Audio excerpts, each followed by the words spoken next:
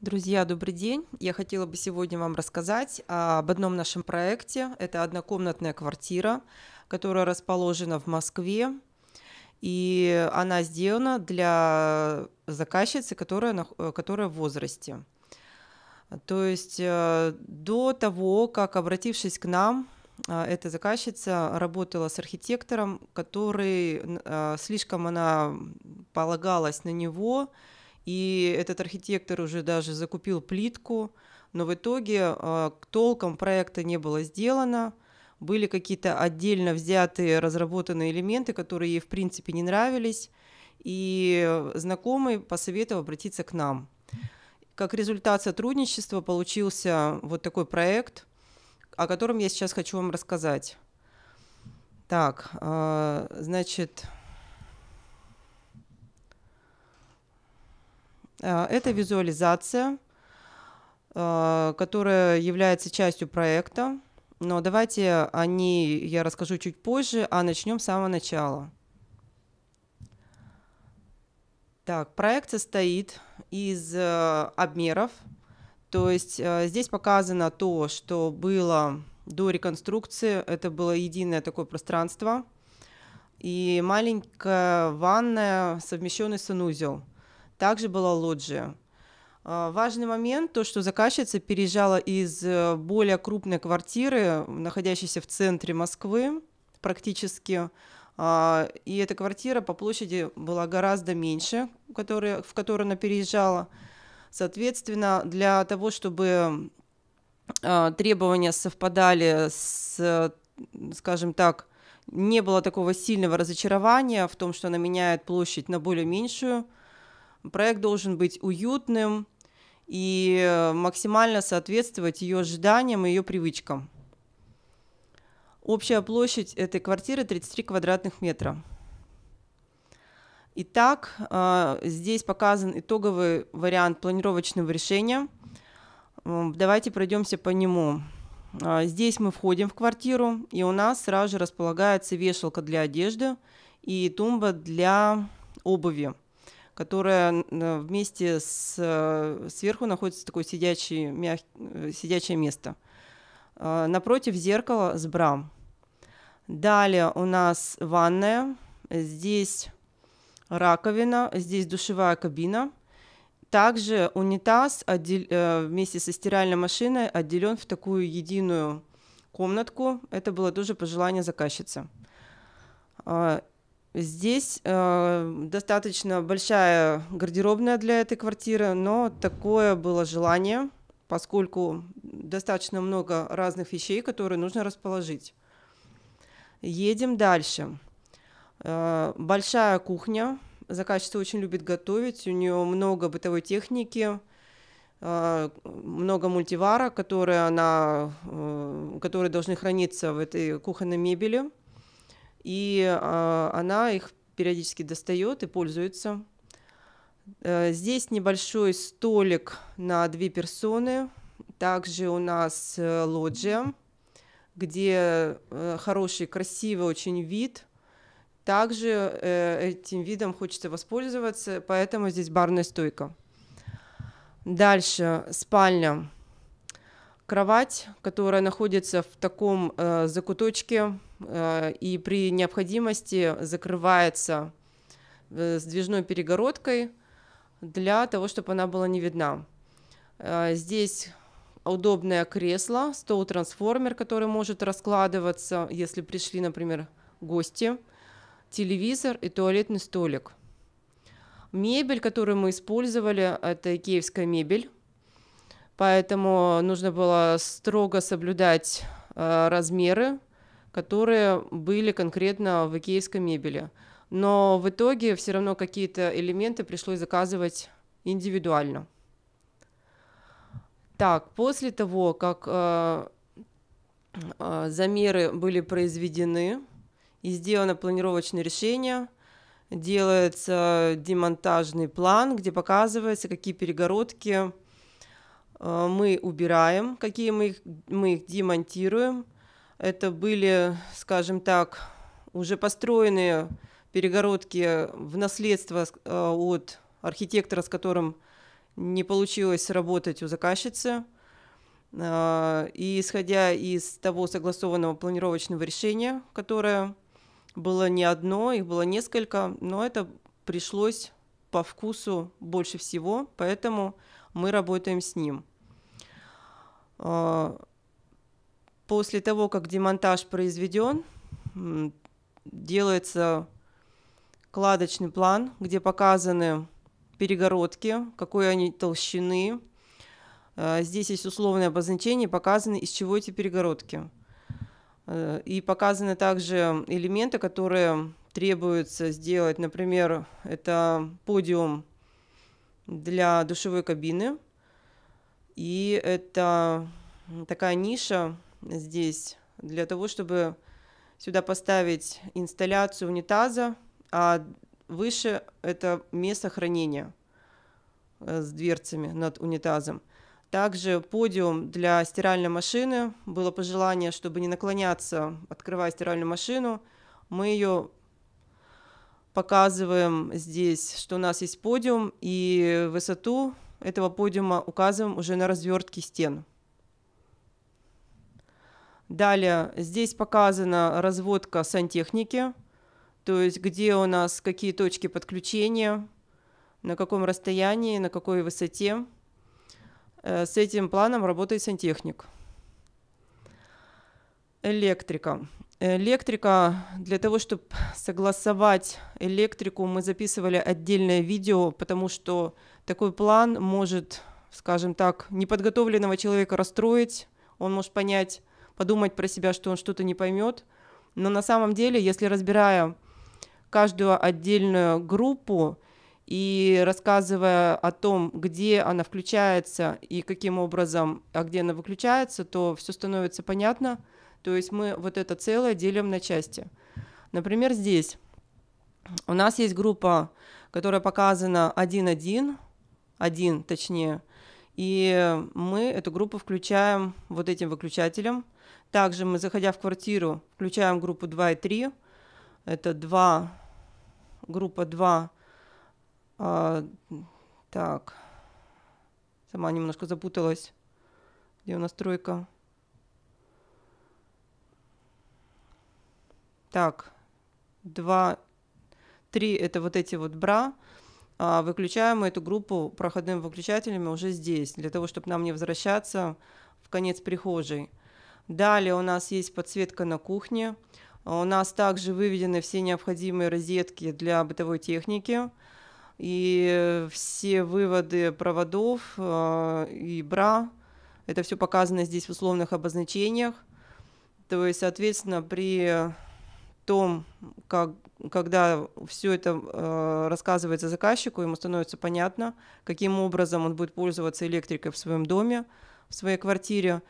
И это уже не возникает такого, скажем так, мандража при э, рассмотрении вот этого плана. Далее двигаемся. Это план пола. То есть э, плитку мы выбираем заранее, когда делаем визуализацию перед э, тем, как показывать визуализацию заказчику, мы предлагаем вариант по плитке для того, чтобы потом э, эту плитку заказчик посмотрел вживую и использовать ее уже в плане пола. Таким образом, мы показываем на этом чертеже, сколько требуется плитки, где у нас начинается, с какого места, вот стрелочками показано, с какого места мы начинаем укладывать целую плитку, и где у нас показаны здесь плинтуса, конкретно что это за плинтуса. И то же самое показывается, э, какая плитка использована у нас в, э, в основном помещении, а здесь именно такое было пожелание использовать везде плитку. И в ванной комнате другим цветом мы показываем плитку керамогранит. Э, это у нас керамогранит керамомараци а это керамогранит и талон. Показано количество, сколько штук.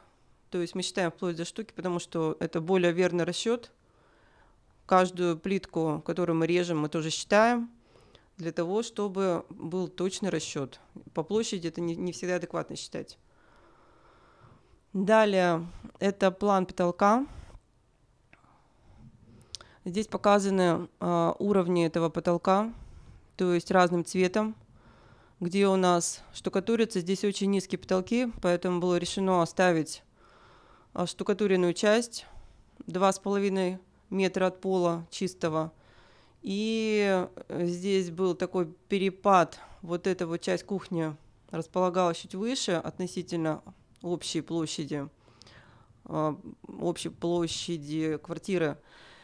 И, соответственно, все короба из гипсокартона, которые здесь вообще есть, они все показываются на этом плане, показываются размеры, габариты этих коробов. Если есть какие-то сложные подсветки внутри этих коробов потолочных, делаются разрезы. Вот здесь у нас как минимум 5 разрезов, пересекающих всю квартиру, для того, чтобы отделочникам было понятно, каким образом собирать эти короба. И в ванной комнате у нас используется натяжной потолок. Теплый пол у нас на лоджии. Здесь показан габариты теплого пола, здесь регулятор. То есть, э, в общем-то, на этом чертеж заканчивается. Разрезы потолка показаны здесь. То есть э, на плане показано сечение, что конкретно мы режем. А здесь уже показаны сами непосредственно потолки и показано, насколько от плиты перекрытия мы отступаем. Опускаем потолок. Далее у нас идет план разверток. На этом плане показаны развертки, каким образом мы разворачиваем стены. То есть вот цифры 1, 2, 3, 4, 5, 6, 7, 8, 9, 10, 11, 12, 13, 14. И замыкаем на единицы. То есть таким образом мы раскладываем, разворачиваем всю эту комнату, чтобы показать, какая есть отделка на стенах. И вот это показано гардеробная комната, каким образом, э, что находится в гардеробной комнате, какие розетки в ней есть, какие элементы на стенах. Э, то есть электрощиток мы переносим в гардеробную. Далее это у нас идет прихожая тоже она вся развернута. Если даже, например, электрику что-то непонятно с розетками, он всегда может заглянуть в план развертка, разверток стен и увидеть интересующий элемент. Дальше мы здесь подсчитываем количество краски, выбираем эту краску и плинтус. Тоже показываем, какой высоты и сколько его требуется. Но плинтус посчитан у нас уже на плане пола.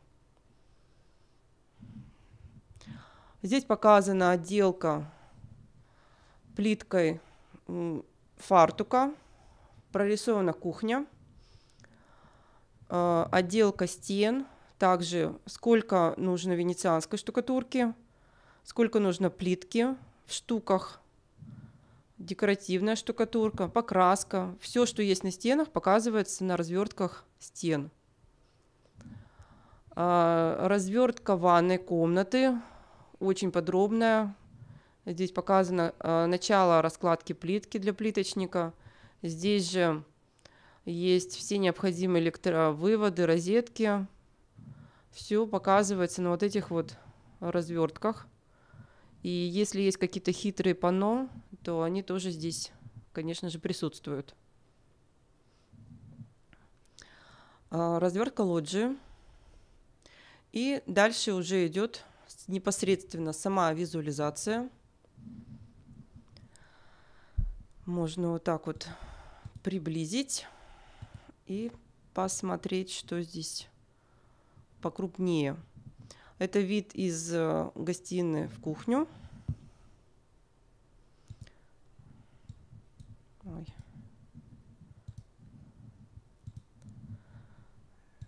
Так, это у нас кухня непосредственно. Очень получилась светлая, красивая. И небольшой такой островок для того, чтобы с подсветкой наверху, здесь такой максимально а, светлый дизайн для того, чтобы светлая такая гамма использована. Ну, потому что это небольшое помещение, нет смысла здесь делать какие-то темные акценты.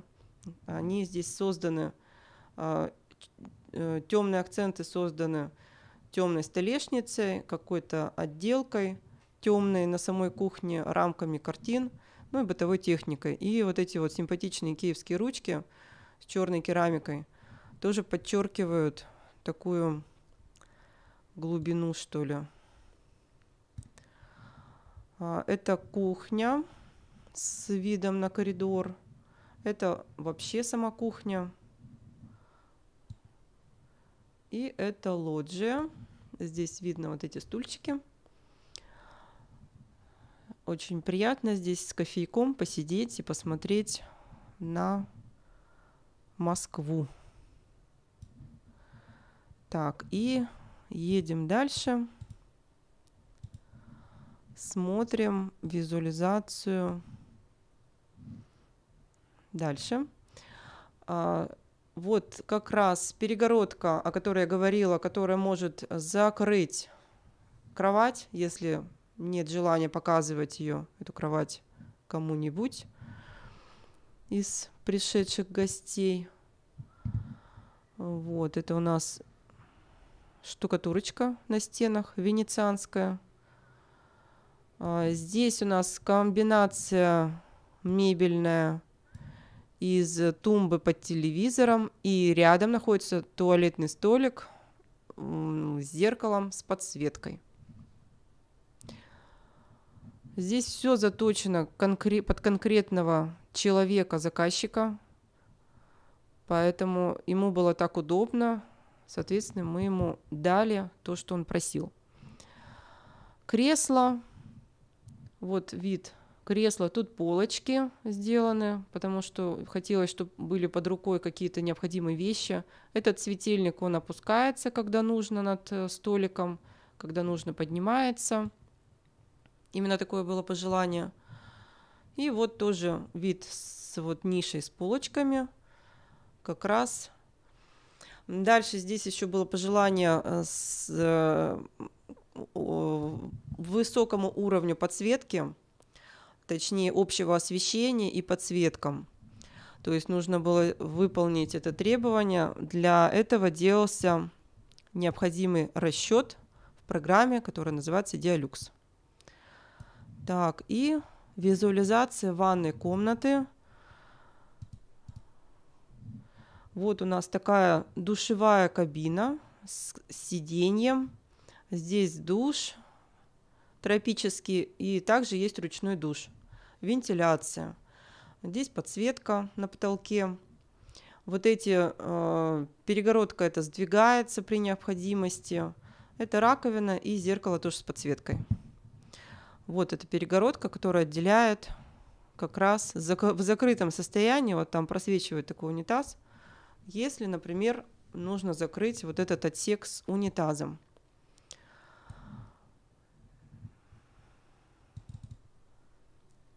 Также здесь находится у нас вот на подиуме стиральная машина за дверцами, а вот это отделение сверху, оно тоже открывается, и там находятся необходимые, что там необходимо в ванной комнате. Ну, это понятно, стиральные порошки, полотенца, какие-то моющие, чистящие средства. Ну, в общем, все, все, что нужно, оно здесь вот хранится. И вот он вид сверху. Здесь большая раковина, светлая, с большим зеркалом, с подсветкой. Тут полотенчики висят. Здесь полотенце-сушитель. Тут можно повесить какие-то халатики. Это душевая кабина достаточно больших, удобных размеров. И вот этот отсек с унитазом и хранение у нас находится в этом шкафу и в этом шкафу. То есть, что касается хранения, я думаю, что здесь э, было пожелание сделать гардеробную комнату, и, в общем-то, у нас все это получилось, и все нам это удалось. После негативного э, опыта работы с дизайнером, с архитектором точнее, э, заказчица получила вот такой проект для реализации. очень подробный и детальный, благодаря которому был выполнен ремонт, и сейчас она живет в этой новой квартире. Всем спасибо за внимание. Подписывайтесь, ставьте лайки. Всем пока.